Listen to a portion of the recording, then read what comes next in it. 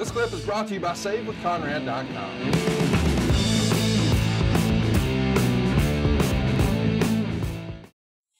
Let's uh, let's keep it moving here. We know what happens eventually after he becomes the Intercontinental Champion.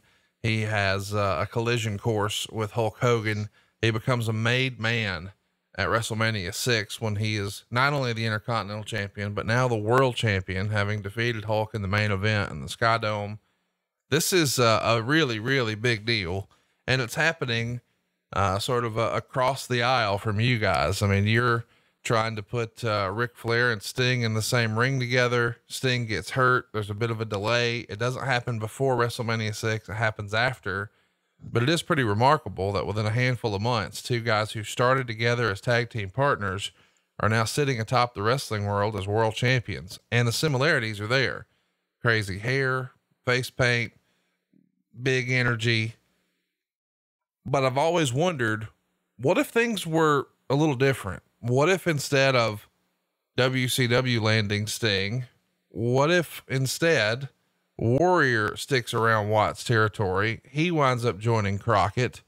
Could you have seen these guys switching places and perhaps at WrestleMania 6 it's Hogan and Sting and at Great American Bash it's Flair and Warrior? Uh, gives me shudder, gives me ch- uh, chills to think that. Uh, no, no. I thought the Warriors push was strictly aesthetic oriented.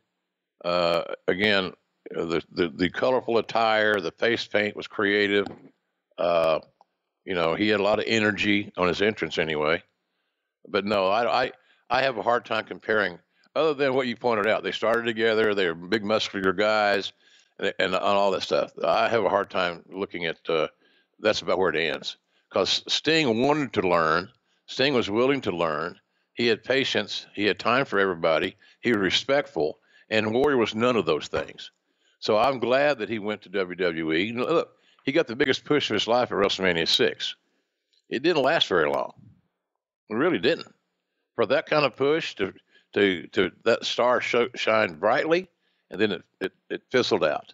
So no, I don't. Uh, I, I, don't, I wouldn't want to think of that. Uh, Crockett got the better deal with Sting by by far and uh, and Vince and his where it's more uh, structured, more, more, you could be you're higher, you're heavier produced. You know, the NWA in that era, with, led by Flair, was more more old school working. Uh, you know, all these things. It was just more tradition. Uh, and, and McMahon was a little different, had a little different promotion. The matches are different. There are a lot of gimmicks and this thing, and the other. You know, uh, I just no, I, I can't see that ever. I'm glad it didn't happen, but uh, whoever got Sting got the better guy. What do you think Vince could have done? Like we know how this run is going to work out with uh, the Ultimate Warrior and, and the WWF here in 1990. But if Sting would have been the guy beating Hogan in Toronto, do you think Sting would have become an even bigger superstar than he became? Oh hell yes, absolutely. Because WWE was uh, looked at as the, the, the, the, big dog in the yard, and uh, and Sting kept evolving. Conrad he kept improving. His game got better. Look at some older Sting matches.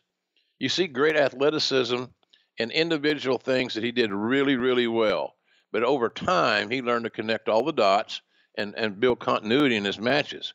I never saw Warrior get any better uh, after he went to WWE than he was in any other territory uh, or and he didn't did he get better in W in uh, WWF? No, I don't think so.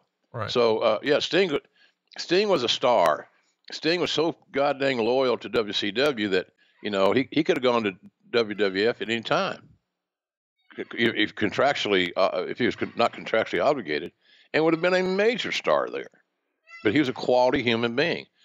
That's kind of how that works more often than not. You see guys that are renegades that have long careers but really, do they? Based on what they could have had, Sting was a perfect locker room guy, nobody better, and uh, and and then you got Warrior who didn't, you know, he he would Warrior's the kind of guy that would come in and demand his own locker room. Right. That was always a tip off to me when a talent says, "I got to have my own locker room." Why? Why can't you dress with the talent? You know, you go to the NFL. You know, Tom Brady don't have a separate locker room. The, I'm using that as a basic illustration, but sure, it just didn't work, man. I, I can't stress this enough. Smoke and mirrors, smoke and mirrors, and great marketing. That's what made Ultimate Warrior a star. Hey, hey, it's Conrad Thompson. Thanks for checking out the podcast here on YouTube. Be sure to hit the subscribe button and the notifications bell so you get a notice anytime we upload some new content. And go save yourself some money right now. If you're in a 30 year loan or you have credit card debt, it's not a matter of if I can save you money, it's a matter of how much. Find out right now for free at SaveWithConrad.com.